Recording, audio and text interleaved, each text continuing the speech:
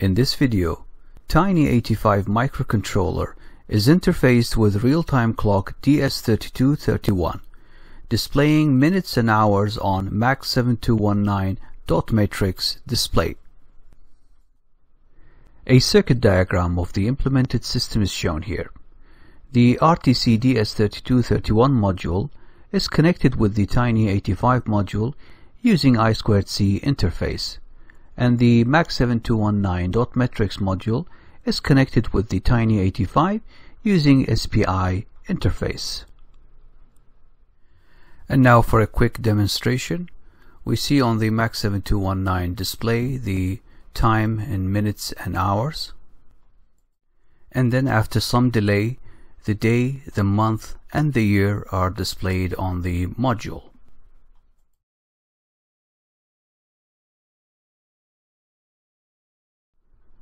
A quick look at the C++ sketch used in this project. We need to include the, the wire library so we can have access to the I2C port of the Tiny85 uh, microcontroller.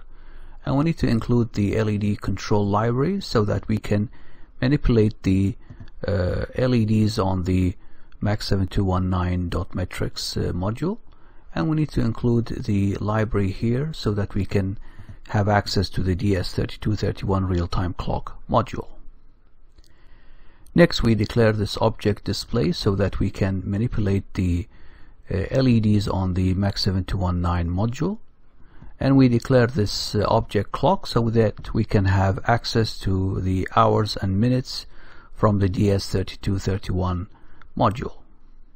Next we declare two-dimensional array digits which contains all the binary patterns required to sketch the patterns or the digits from 0 to 9. Within the setup function, we initialize the I2C interface, and then we initialize the four digits of the MAX7219 module. Within the loop function, we get the minute, hour, day, month, and year values from the DS3231 module. Next we call function display digit 0 to display the most significant digit of the hour at address 0 of the module and then we call display digit 1 to display the least significant digit of the hour at address 1 and we call function display digit 2 to display the most significant digit of the minutes at address 2 and we call function display digit 3 to display the uh, least significant digit of the minute at address 3. When function display digit 0 is called, a nested for loop is used and set LED function is used to display the most significant digit of the hour at address 0 of the MAX7219 module and the same applies for digit 1 digit 2 and digit 3 in addition to displaying the hours and minutes on the module we also display a blinking colon that will blink every one second and function set column is used to sketch the colon on the display.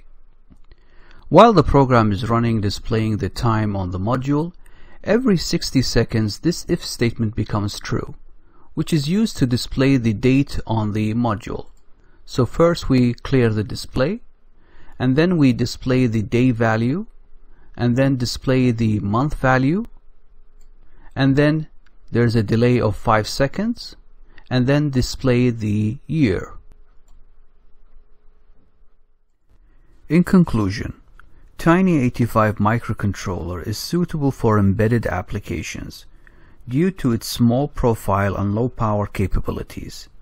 Its main disadvantage is limited number of I.O. pins. Thank you for watching.